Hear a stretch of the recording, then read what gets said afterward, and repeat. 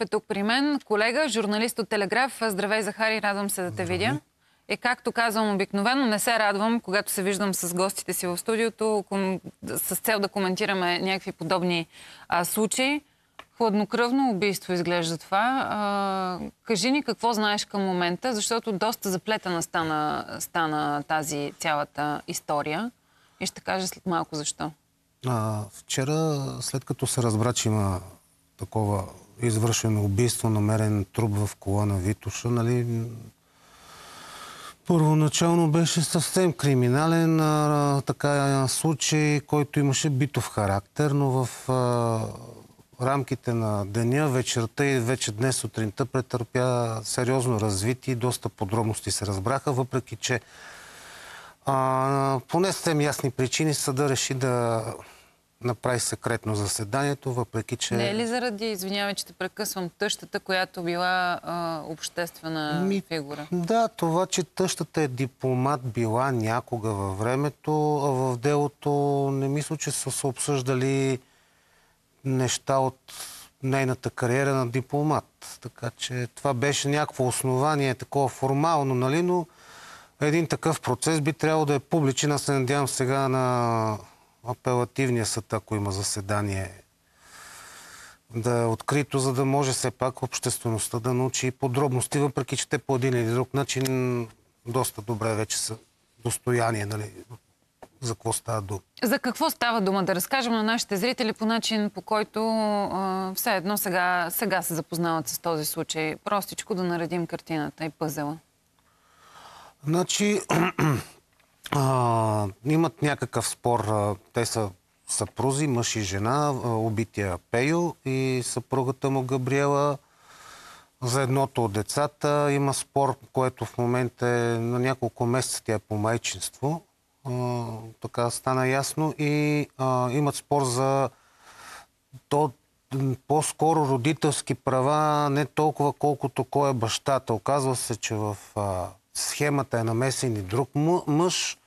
А, доколкото се разбира, тя е била и с двамата се е виждала явно успоредно, но за единия се е омъжила непосредствено преди да роди. роди.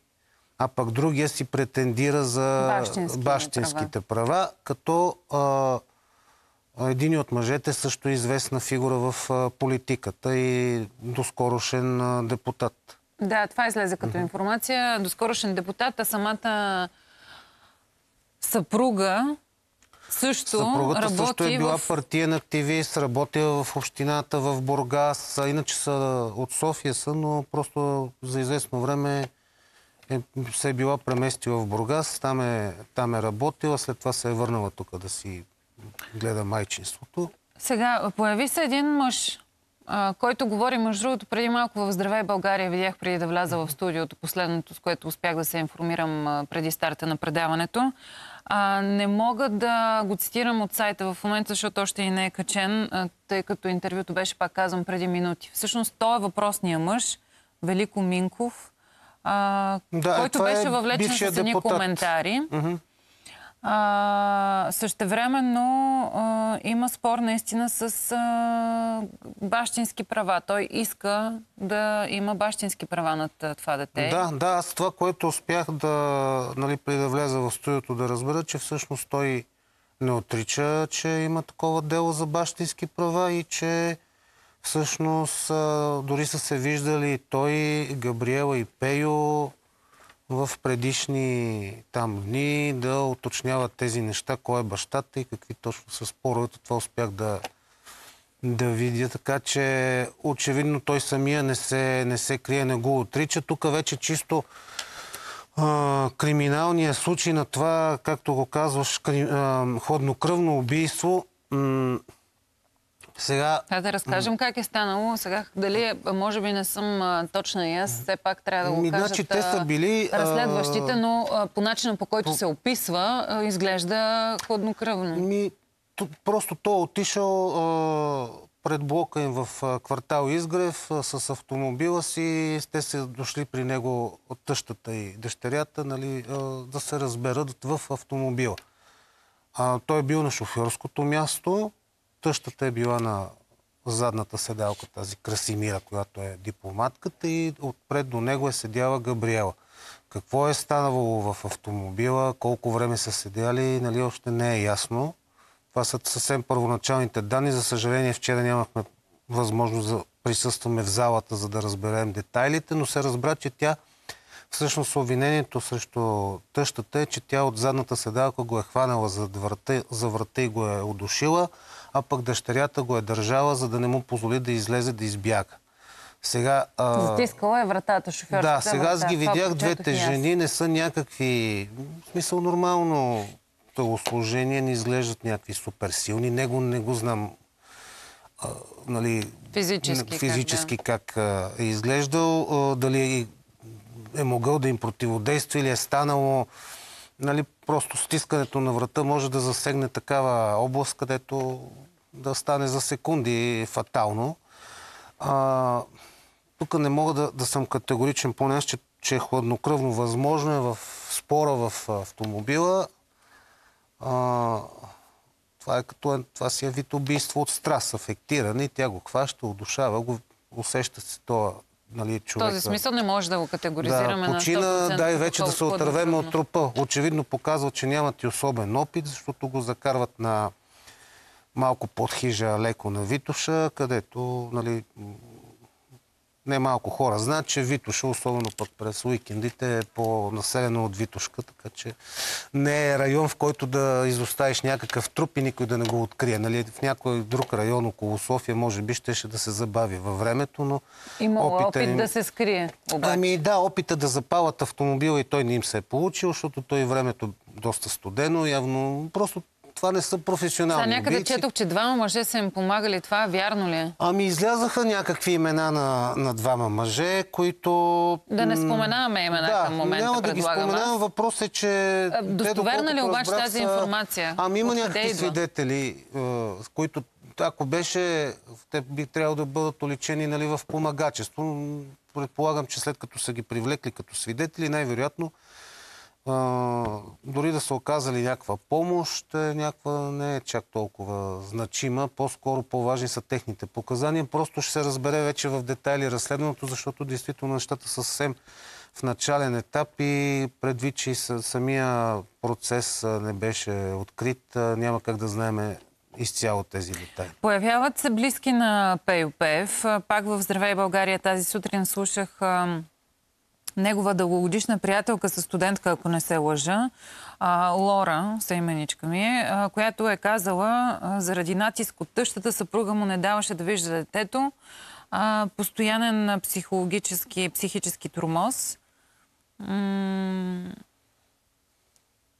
Вероятно, те първо ще, ще научим повече за самите профили на, и на убития, и на, на извършителите.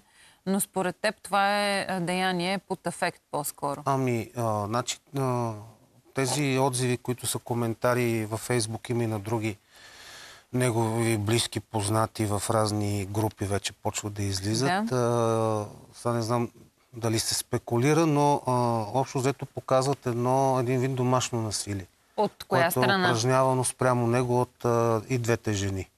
Нали, обикновено популярното е, че мъжете упражняват домашно насилие, но в този случай явно. Жените са към жените мъжа. Са, да.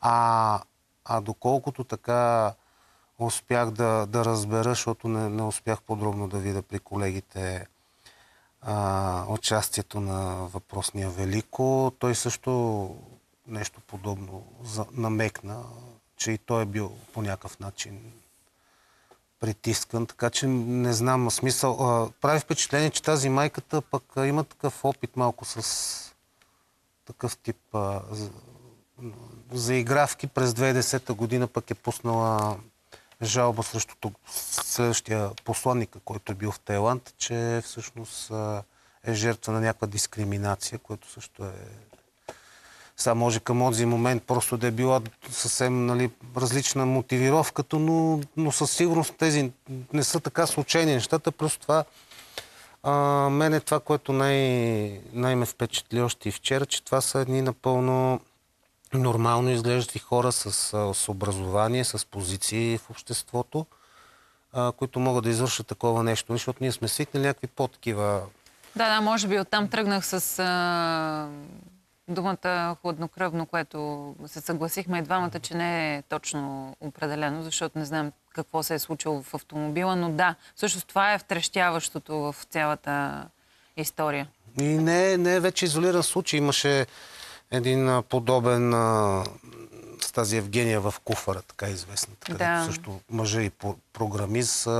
Тъста беше някакъв от ДС, смисъл човек пак един вид все пак образован, който способни да направят такова деяние. Така че вече тези неща като че ли не са изключения, почват Да, да влизам в сферата на психологията. Може би това е разговор за Да, един да, психолог, психиатър също в някакъв смисъл отключването на някакви заболявания. Но да те върна на, на криминалната хроника.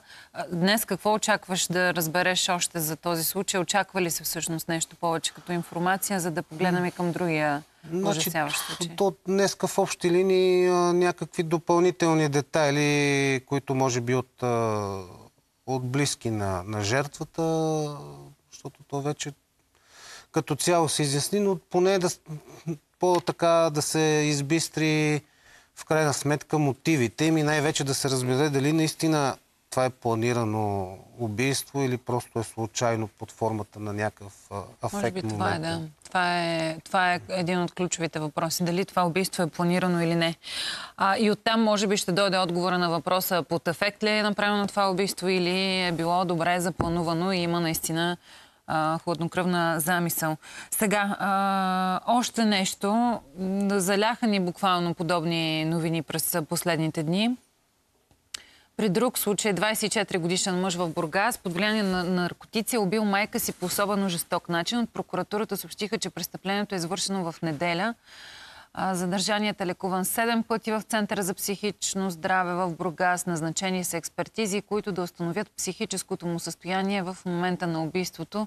Виждате в момента, уважаеми зрители и кадри, от а, самото място, където е извършено зверското престъпление. Самопризнание имаме тук на сина на жената. А, какво е това вече тук? Като Тук, проява.